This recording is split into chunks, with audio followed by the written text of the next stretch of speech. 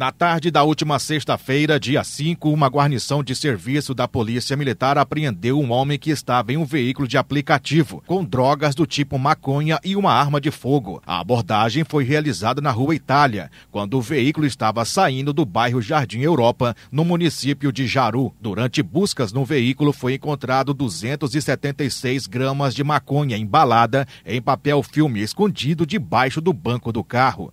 Em ato contínuo, a guarnição realizou buscas na residência do acusado e localizaram mais 871 gramas de maconha no forro, mais 29 porções menores embaladas com papel filme prontas para serem comercializadas e duas sacolas pequenas com mais um restante de entorpecente. Dentro do guarda-roupas ainda foi localizado um revólver calibre 38 com 10 munições intactas. O acusado recebeu voz de prisão e foi conduzido até a Unisp para as demais providências cabíveis.